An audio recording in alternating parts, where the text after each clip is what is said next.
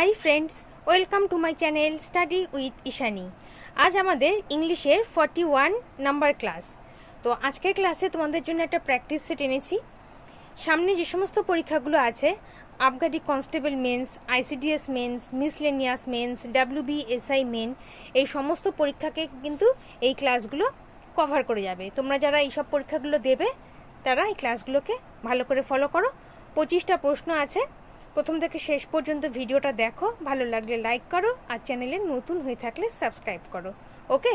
চলো, দেখে নিই আজকের প্রশ্নগুলো। প্রথম প্রশ্ন হচ্ছে স্পটিং এরর থেকে। এক নম্বরে আছে, Mister Saurabh Sharma is coming to dinner এখানে কোথায় এরর আছে? মিস্টার সৌরভ শর্মা এটা হচ্ছে A part is coming B part to dinner, C part R no error. কোথায় ভুল আছে? তাহলে দেখো, এ পার্টে মিস্টার সৌরভ শর্মা। এখানে মিস্টার সৌরভ শর্মাতে ভুল হওয়ার কোনো চান্স নেই। ইজ কামিং, এখানেও ভুল নেই। তা তোমাদের মনে হতে পারে অপশন সিতে ভুল আছে, টু ডিনার। কারণ এখানে ফর ডিনার হতে পারে। টু ডিনার আছে, তোমাদের মনে হতে পারে ভুল আছে। কিন্তু টু ডিনার, এখানে কোনো ভুল নেই। কামিং টু ডিনার মানে মানে কামিং টু ডিনার মানে ডিনারে এসে আসছে, তার মানে তো কোনো প্লেসে যাচ্ছে। যেমন আমরা বলে থাকি কামিং টু পার্টি তো কামিং টু ডিনারের মধ্যে কিন্তু কোনো ভুল নেই। তাহলে এ পার্ট বি পার্ট এবং সি পার্টে কোথাও কোনো ভুল নেই, এই সেন্টেন্সে কোনো ভুল নেই। Mister Saurabh Sharma is coming to dinner এই সেন্টেন্সে কোনো ভুল নেই, সেক্ষেত্রে হয়ে যাবে no error option D okay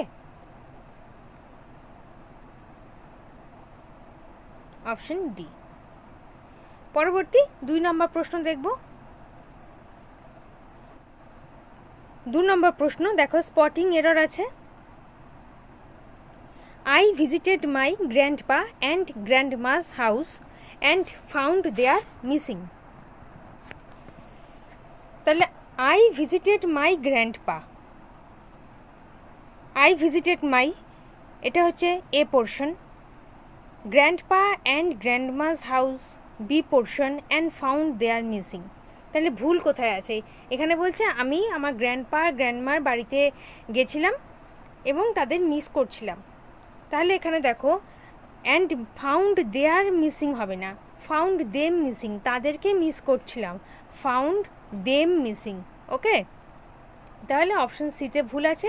found there missing হবে না। দেম হবে। দেম মিসিং ওকে তাহলে অপশন সি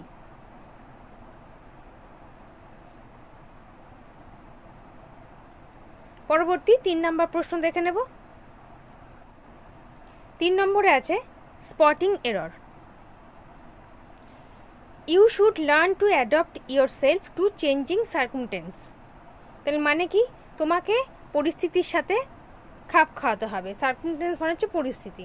তোমাকে পরিস্থিতির সঙ্গে খাপ খাওয়ানো উচিত, এটা শেখা উচিত, ঠিক আছে? তাহলে you should learn to adopt এটা হচ্ছে A portion yourself to R changing circumstances এটা সি আর নো এরর তাহলে এখানে যে অ্যাডপ্ট কথাটা আছে, এই অ্যাডপ্ট মানে হচ্ছে দত্তক নেওয়া। অ্যাডপ্ট মানে এ ডিও পিটি অ্যাডপ্ট মানে হচ্ছে দত্তক নেওয়া। কিন্তু পরিস্থিতির সঙ্গে নিজেকে দত্তক নিতে হবে এমন তো নয়, পরিস্থিতির সাথে নিজেকে খাপ খাওয়াতে হবে, মানিয়ে নিতে হবে। তাহলে কি হবে? অ্যাডপ্ট না হয়ে হবে adapt A D A PT adapt adapt মানে হচ্ছে খাপ খাওয়ানো। তাহলে you should learn to adapt yourself to changing circumstances okay তাহলে ভুল কোথায় আছে? অপশান এতে ভুল আছে।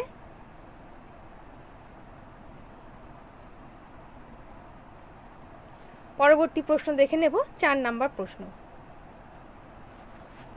চার নম্বরে আছে spotting error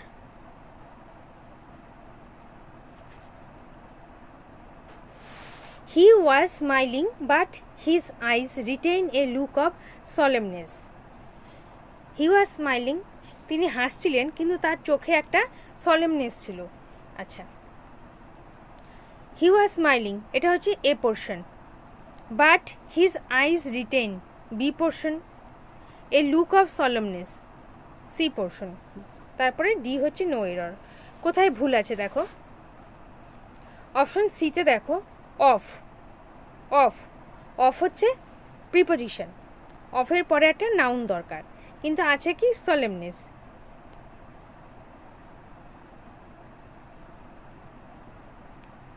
সলেম কথাটার মানে হচ্ছে সিরিয়াস ঠিক আছে? তাহলে এটা হচ্ছে অ্যাডজেক্টিভ সিরিয়াস বা সলেম এটা হচ্ছে অ্যাডজেক্টিভ কিন্তু আমাদের দরকার হচ্ছে নাউন তাই তো? এখানে প্রিপোজিশন আছে প্রিপোজিশনের পর আমাদের নাউন দরকার। যেমন আমরা অনেস্ট থেকে অনেস্টি করি, সৎ, সততা, সেক্ষেত্রে সলেম থেকে হয়ে যাবে solemnity solemnity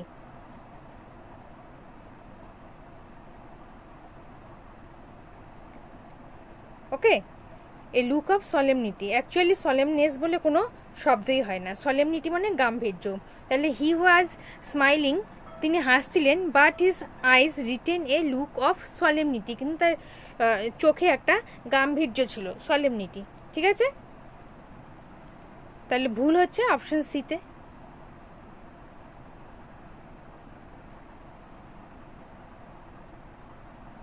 পরবর্তী প্রশ্ন দেখে নেব, পাঁচ নাম্বার প্রশ্ন। Fill in the blanks the army has been dash to be ready to control the floods তাহলে আর্মিদের কি বলছে? দ্য আর্মি হ্যাজ বিন আর্মিদের কি করা হলো? To be ready to control flood ফ্লাডকে control করার জন্য আর্মিদের কি করা হলো? অ্যালার্টেড ওয়ান্ড অ্যাওকেন্ট আর হচ্ছে ওয়ান্টেড অ্যালার্টেড মানে হচ্ছে সতর্ক করা। ওয়ান্ড মানে হচ্ছে আদেশ জানানো। ওয়ান্ড মানেও সতর্ক। সতর্ক বা আদেশ জানানো। আর অ্যালার্ট মানে হচ্ছে সতর্ক করা বা তৎপর করা আর অ্যাওকেন্ট মানে যে জাগরিত করা। তা আর্মিরা তো ঘুমিয়ে নেই যে তাদের জাগরিত করবে, সুতরাং এই অপশন তো হবেই না। ওয়ান্টেড অপশনও হবে না। ওয়ার্ড ওয়ার্ড মানে ওয়ান্ড ওয়ান্ড মানে হচ্ছে সতর্ক করা বা আদেশ জানানো। সেখানে এটাও হচ্ছে না, কারণ এখানে আদেশ জানানোর কিছু নেই। The army has been alerted আর্মিদের alert করা হলো, তৎপর করা হলো। কেন? টু বি রেডি রেডি থাকার জন্য টু কন্ট্রোল দ্য ফ্লাড বন্যাকে কন্ট্রোল করার জন্য আর্মিদের অ্যালার্ট করা হলো। অপশান এ তৎপর করা হলো, সতর্ক করা হলো। অপশান এ পরবর্তী প্রশ্ন ছয় নাম্বার ছয় নম্বর আছে fill in the blanks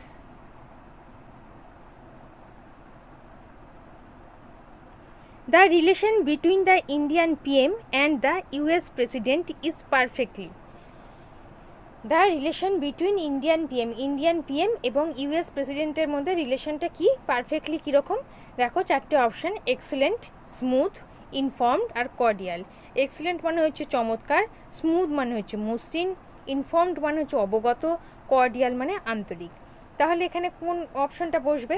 The relation between the Indian PM and the US president is perfectly, তাহলে ইন্ডিয়ান প্রাইম মিনিস্টারের সাথে ইউএসএর প্রেসিডেন্টের রিলেশনটা কেমন হবে? ফ্রেন্ডলি হবে, সেক্ষেত্রে হয়ে যাবে অপশন ডি কর্ডিয়াল কর্ডিয়াল মানে হচ্ছে আন্তরিক, অপশন ডি, ওকে? পরবর্তী প্রশ্ন দেখব, সাত নাম্বার।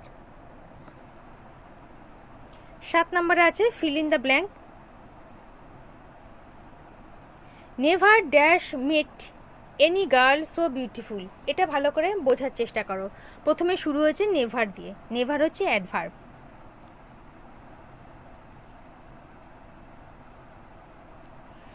তো প্রথমে যদি অ্যাডভার্ব থাকে, সেক্ষেত্রে কী হবে? ইনভার্সন হয়। অ্যাডভার্ব দিয়ে স্টার্ট হলে।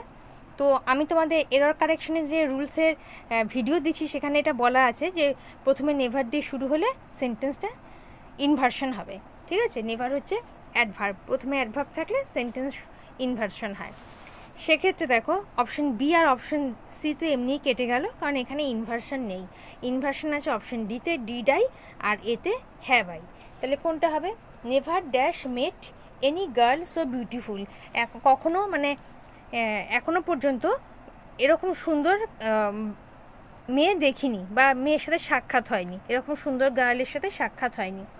সেক্ষেত্রে হয়ে যাবে option A have I can হবে? এবার একটু মন দিয়ে শোনো। Never have I met any girl so beautiful তো তোমরা বলতে পারো ডিডাই হতে পারে, কারণ এখানেও ইনভার্সন আছে, কিন্তু ডিডাই হচ্ছে পাস্ট টেন্স কিন্তু সেন্টেন্সে বলছে never dash met any girl so beautiful মানে আজ পর্যন্ত এত সুন্দর গার্ল দেখিনি। ওকে? আজ পর্যন্ত দেখিনি। মানে আগেও দেখিনি, এখনও দেখিনি। তার মানে পাস্টের সাথে প্রেজেন্টকে কানেক্ট করছে। আর ডিডাই হচ্ছে শুধু পাস্ট আর সেন্টেন্সে বলছে কিন্তু আগেও দেখিনি, এখনও দেখিনি। মানে এখনও পর্যন্ত দেখিনি। তার মানে আগেও দেখিনি। তাহলে আগের সাথে অতীতের সাথে বর্তমান পাস্টের সাথে প্রেজেন্টকে কানেক্ট করছে। তাই পারফেক্ট টেন্স হবে। Never never have I met any girl so beautiful option A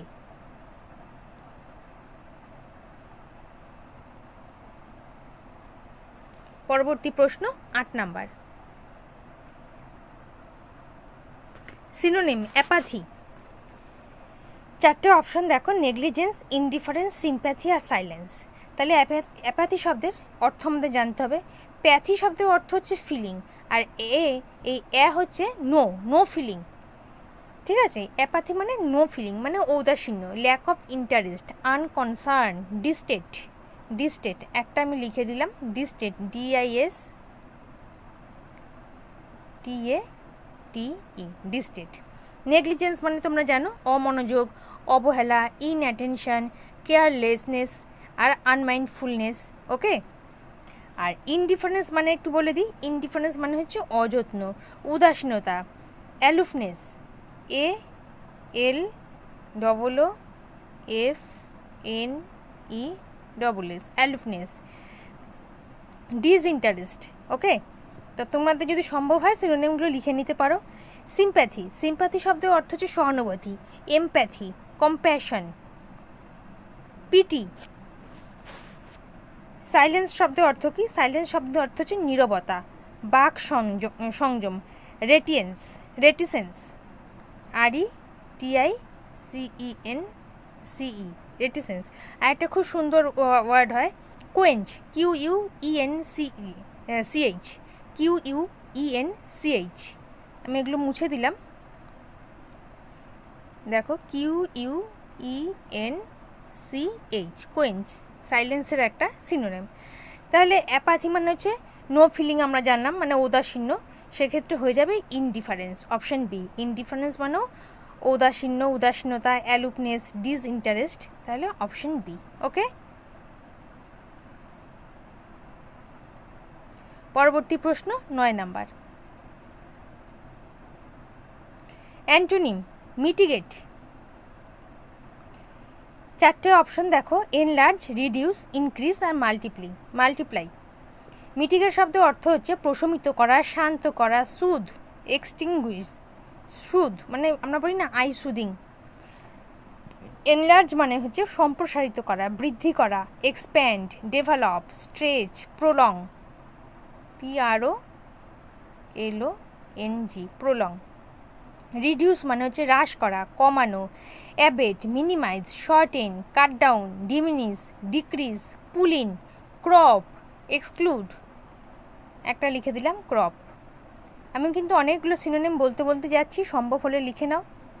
increase increase মানে হচ্ছে বৃদ্ধি, বাড়ানো increment enhancement development okay multiply multiply মানে গুণ করা, সংখ্যা বৃদ্ধি amass A M A double S বা গ্যাদার তাহলে মিটিগেট মিটিগেট মানে হচ্ছে প্রশমিত করা বা শান্ত করা।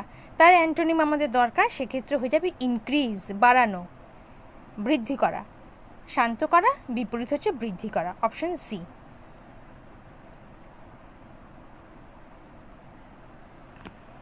পরবর্তী দশ নাম্বার দেখব। কারেক্টলি স্পেলড ওয়ার্ড চারটে অপশানের মধ্যে কোন ওয়ার্ডটা সঠিক আছে দেখো।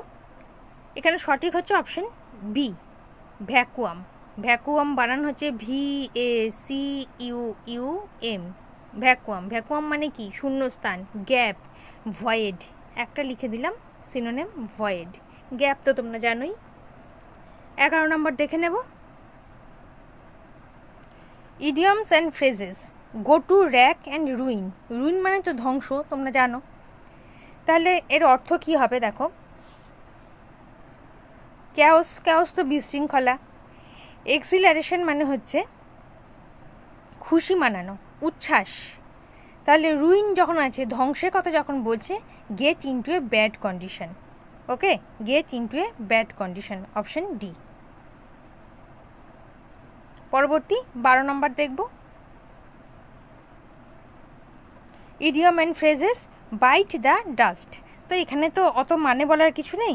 বাইট দ্য ডাস্ট এর অর্থ হয়ে যাবে হচ্ছে পরাজয় স্বীকার করা বা পরাজয়কে সাফার করা, তাহলে কি? Suffer a defeat option B suffer a defeat পরবর্তী তেরো নম্বর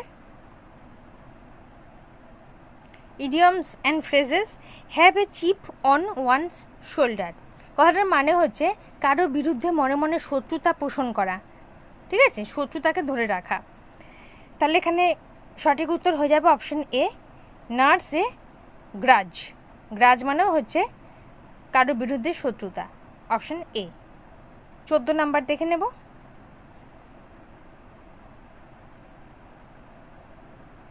চোদ্দ নম্বরে আছে idiom and phrases the seamy side the seamy side বলতে কি বোঝায়?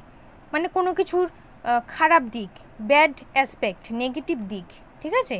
তাহলে সেক্ষেত্রে সঠিক অপশন কোনটা হয়ে যাবে? Option B unpleasant aspect option B পরবর্তী পনেরো নাম্বার দেখব।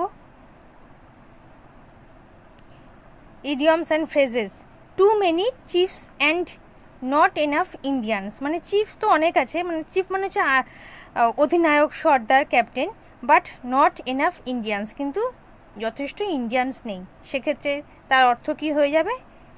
An inefficient situation option B an inefficient situation পরবর্তী ষোলো নাম্বার। ষোলো নম্বরে দেখো সেন্টেন্স অ্যারেঞ্জমেন্ট আমরা বলেছিলাম যে অপশন দেখে আমরা এগোবো। তাহলে এক্ষেত্রে দেখো, এক আর ছয় তো কনস্ট্যান্ট মাঝখানেগুলো অদল বদল হবে। এসে দেখো আদার স্টুডেন্টস আর পিতে পি না সরি পিতে আছে দে। তার মানে এই দেটা কার জন্য বসছে? এই স্টুডেন্টদের জন্য বসছে। ঠিক আছে? তাহলে এটা তো পরিষ্কার যে এস আর পি পাশাপাশি বসবে। এস আর পি পাশাপাশি বসবে। এখানে আদার স্টুডেন্টস বলছে আর এখানে দে বলছে। পরিষ্কার বোঝা যাচ্ছে যে স্টুডেন্টদের জন্য দে কথাটা আসছে। সেক্ষেত্রে এস আর পি পাশাপাশি বসবে। এবার তোমরা অপশন দেখো, কোথায় এস আর পি পাশাপাশি আছে? অপশন ফোরে দেখো এস আর পি নেই পি এস কেটে গেল। অপশন টুতে দেখো এস আর পি নেই পি এস কেটে গেল। তাহলে এস আর পি কোথায় আছে? এক এক নম্বরে আছে আর তিন নম্বরে আছে। এবার আমাদের দেখতে হবে যে শুরুটা কিউ দিয়ে হবে না শুরুটা এস দিয়ে হবে। কিউতে দেখো কি বলেছে? আচ্ছা এক নম্বরটা পড়ি। Why should I tell you again and again আমার কেন তোমাকে বারবার বলতে হবে? তারপরে কিউটা দেখো। Don't you know your duties তারপরে এসে আসো। Other students need not to be told এসের পর বলেছিলাম P they know what they have to do P তাহলে পরিষ্কার বোঝা যাচ্ছে যে অপশন ওয়ান হবে। একবার মিলিয়ে দিই। এক নম্বরে আছে why should I tell you again and again আমি আমার, আমি তোমাকে কতবার বলব বা আমার তোমাকে কতবার বলা উচিত? তারপরে হবে Q don't you know your duties তুমি কি তোমার ডিউটি জানো না? তারপরে বলছে S other students need not to be told অন্য স্টুডেন্টকে বলতে হয় না। এস আর পি পাশাপাশি বলেছিলাম, এরপরে পি হবে they know what they have to do তারা জানে তাদেরকে কি করতে হবে।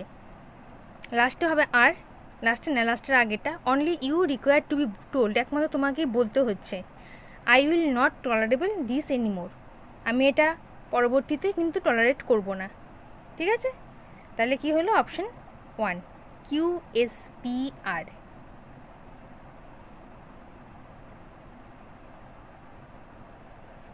পরবর্তী দেখব, সতেরো নম্বর সতেরো নম্বরে আছে, দেখো সেন্টেন্স অ্যারেঞ্জমেন্ট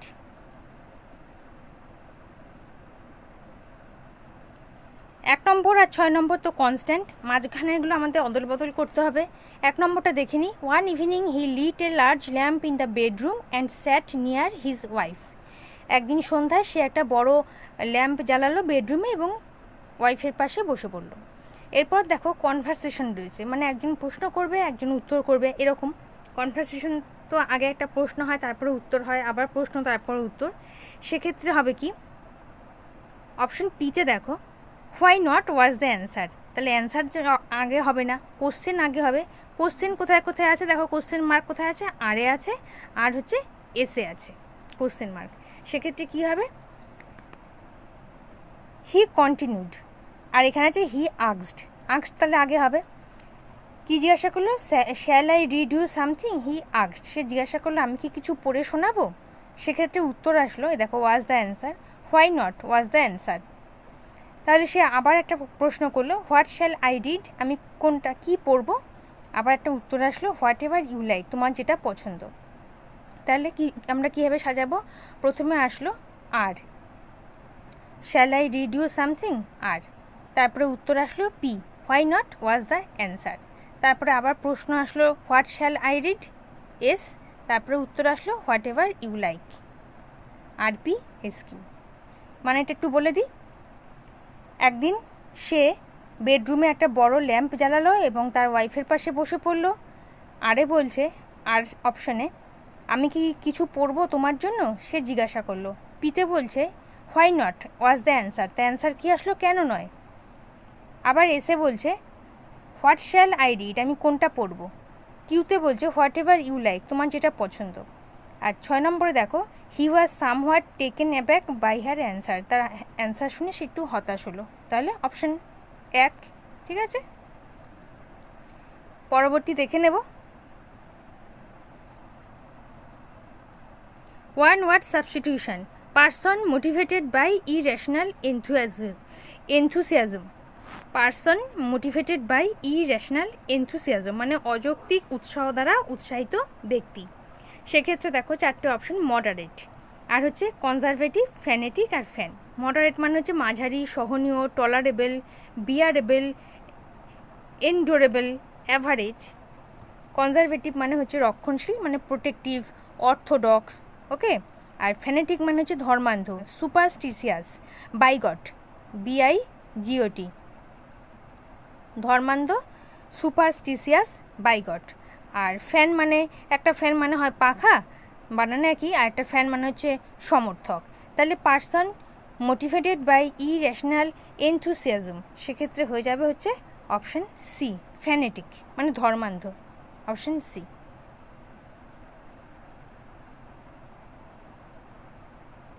উনিশ নম্বর প্রশ্ন দেখব। One word substitution wide uninterrupted view wide মানে হচ্ছে প্রশস্ত। আনইন্টারেপ্টেড মানে নিরবচ্ছিন্ন ভিউ মানে দর্শন।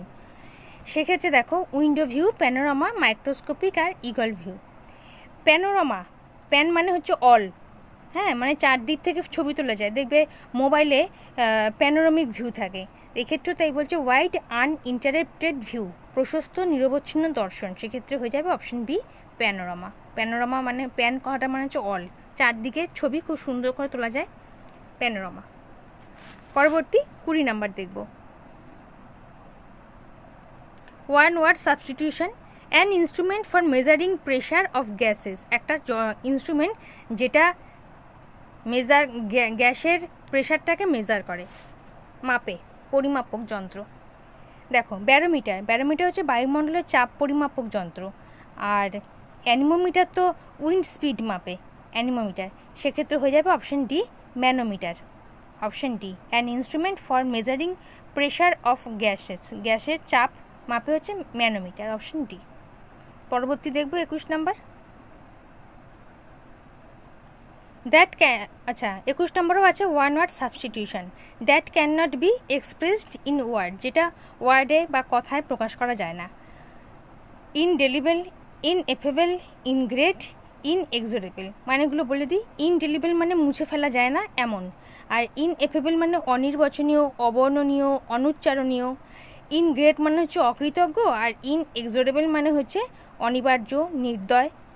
সেক্ষেত্রে that can not be expressed in expressed in word কথায় বা শব্দে প্রকাশ করা যায় না, সেক্ষেত্রে হয়ে যাবে অপশন বি ইন এফেবেল অবর্ণনীয়, অনুচ্চারণীয়, অনির্বচনীয় অপশন বি পরবর্তী দেখে নেব বাইশ নাম্বার। বাইশ নাম্বার আছে one word substitution A mixture of dried, naturally fragrant plant material used to provide gentle natural scent inside buildings, especially in residential setting. কি বলছে? Mixture of dried and naturally fragrant মানে কোনো কিছু শুকনো কিন্তু naturally যেটা একটা সুগন্ধ থাকে ফ্র্যাগনেন্ট প্ল্যান্ট প্ল্যান্ট মেটেরিয়াল কোথায় ব্যবহার করা হয়? Use to provide gentle natural scent যেটা জেন্টেল ন্যাচারাল সেন্ট প্রোভাইড করে। কোথায়? ইনসাইড বিল্ডিং বাড়ির ভেতরে। সেটাকে কি বলে? মানে হচ্ছে শুকনো, প্রাকৃতিকভাবে সুগন্ধযুক্ত উদ্ভিদ উপাদানের মিশ্রণ, যেটা বাড়ির মধ্যে জেন্টেল ন্যাচারাল সেন্ট ছড়ায়। ঠিক আছে? তাহলে তাকে এক কথায় কি বলব? প্রথম দেখো, এতে potpourri perfume scent aroma potpourri মানে হচ্ছে ফুলের পাপড়ির মিশ্রণ ওকে তারপরে দেখো পারফিউম পারফিউম হচ্ছে সুগন্ধি সেন্ট হচ্ছে ঘ্রাণ, গন্ধ, সৌরভ, আর অ্যারোমা হচ্ছে সুভাষ সৌরভ, কিন্তু পটপৌরি হচ্ছে ফুলের পাপড়ির মিশ্রণ মানে হচ্ছে ন্যাচারাল এটা। তাহলে অপশন এ আমাদের প্রশ্নে বলেছিল যে ন্যাচারালি ফ্র্যাগনেন্ট কিন্তু ড্রাই তাহলে পটপৌরি অপশন এ তেইশ নাম্বার দেখব। One word substitution placing different things বিভিন্ন থিংসকে একত্র করে মানে কম্পেয়ার করে in order to create an interesting effect একটা ইন্টারেস্টিং এফেক্ট পাওয়া যায়। সেক্ষেত্রে কী হয়ে যাবে? Option C juxtapose option C juxtapose মানে পাশাপাশি কোনো জিনিসকে স্থাপন করা। অপশন সি জাস্টাপোজ চব্বিশ নাম্বার দেখব। One word substitution study of cultures এক কথায় প্রকাশ কী হবে দেখো? এরিমোলজি, এটিমোলজি, এথোলজি আর এথনোলজি। আচ্ছা এটিমোলজি কথাটার অর্থ হচ্ছে ব্যাকরণ বা শব্দের বুৎপত্তিগত জ্ঞান আর ইথোলজি শব্দের অর্থ চরিত্র চরিত্র গঠন বিজ্ঞান। আর এথনোলজি শব্দের অর্থ হচ্ছে জাতিতত্ত্ব ও জাতিবিদ্যা, মানব জাতিতত্ত্ব। তাহলে স্টাডি অফ কালচার্স হচ্ছে option D ethnology option D পরবর্তী দেখে নেব পঁচিশ number. One word substitution, a person speaking many language. Languages, একজন ব্যক্তি যে বহু ভাষায় কথা বলতে পারে মানে অনেকগুলো ভাষা জানে। অপশন দেখো, conversant, polyglot, talkative, orator. Conversant মানে হচ্ছে পরিচিত বা অভিজ্ঞ। পলিগ্লট মানে হচ্ছে বহুভাষী। টকেটিভ মানে হচ্ছে বাচাল, অনেক কথা বলে। অরেটর মানে হচ্ছে বক্তা বাগিস স্পিকার। ঠিক আছে? তাই a person speaking many languages মানে একজন ব্যক্তি যে অনেক ল্যাঙ্গুয়েজ জানে, তাকে কি বলা হয়? পলিগ্লট অপশন বি পলিগ্লট তোমাদের আমি একটা পিপল সংক্রান্ত একটা ওয়ান আওয়ার সাবস্টিটিউশনের ভিডিও দিয়েছি, যেখানে বিভিন্ন টাইপের পিপলদের সম্পর্কে বলা হয়েছে, সেখানে এটা আছে। এই way person speaking many language আচ্ছা এখানে একটু বলে দিই যে একটি মাত্র ভাষা জানে ওয়ান ল্যাঙ্গুয়েজ সেক্ষেত্রে হয় মনোলিঙ্গুয়াল হ্যাঁ ওই ভিডিওটা তোমরা দেখবে। আর যেটা যিনি দুটো ভাষা জানেন, তিনি হচ্ছে বাইলিঙ্গুয়াল আর যিনি অনেক ভাষা জানেন, তিনি হচ্ছে পলিক্লট ওই ভিডিওটা দেখলে তোমাদের ক্লিয়ার হবে বিষয়টা, ঠিক আছে? দেখবে ওয়ার্ড রিলেটেড টু পিপুল এরকম ইয়েতে মানে প্লেলিস্টে গিয়ে দেখবে ওয়ার্ড রিলেটেড টু পিপুল তাহলে a person speaking many language মানে হচ্ছে পলি পলিগ্লট তাহলে এক ভাষা যে জানে সে মনোলিঙ্গুয়াল দুই ভাষা যে জানে বাইলিঙ্গুয়াল আর বহু ভাষা যে জানে সে হচ্ছে পলিগ্লট ওকে তাহলে বন্ধুরা, এই ছিল আজকের সেটে তোমাদের জন্য পঁচিশটা এমসিকিউ তোমরা ভিডিওটা প্রথম থেকে শেষ পর্যন্ত দেখো। ভালো লাগলে লাইক করো কমেন্ট করে জানাও কেমন হচ্ছে ভিডিওগুলো। ইংরেজি ক্লাসগুলো তোমাদের পছন্দ হচ্ছে কিনা আমাকে একটু কমেন্ট করে জানিও। আর পারলে একটু শেয়ার করে দিও যাতে তোমাদের হাত ধরে আমার এই ভিডিওটা আরও অনেকের কাছে পৌঁছে যেতে পারে। আর আমার নতুন বন্ধুরা প্লিজ চ্যানেলটাকে সাবস্ক্রাইব করো বেল আইকনটা প্রেস করো, যাতে আমার ভিডিওর পরবর্তী নোটিফিকেশন তোমাদের কাছে সঠিক সময়ে পৌঁছে যায়। আর যারা ইতিমধ্যে চ্যানেলটাকে সাবস্ক্রাইব করে দিয়েছ, তাদেরকে অসংখ্য ধন্যবাদ। তোমরা স্টাডি উইথ ইশানি এই ফেসবুক পেজ এবং স্টাডি উইথ ইশানি এই টেলিগ্রাম চ্যানেলের সঙ্গে অ্যাড হয়ে যেতে পারো। ফেসবুক পেজ এবং টেলিগ্রাম চ্যানেলের লিঙ্ক ডিসক্রিপশন বক্সে দেওয়া আছে। আর ডিসক্রিপশন বক্সে দেওয়া আছে এই যত কটা আমি ইংরেজি প্র্যাকটিস সেট করিয়েছি, তার প্লেলিস্ট লিঙ্ক এছাড়াও আমার চ্যানেলে কিছু ইংরেজি ক্লাস আমি করেছি, যেগুলো তোমাদের সামনে যে সমস্ত পরীক্ষা আছে, সব পরীক্ষার জন্য খুব গুরুত্বপূর্ণ। তারও প্লেলিস্ট লিঙ্ক দেওয়া আছে, তোমরা তোমাদের প্রয়োজন মতো দেখতে থাকো। আজ এই পর্যন্ত, দেখা হবে পরের ভিডিওতে ভালো থেকো বাই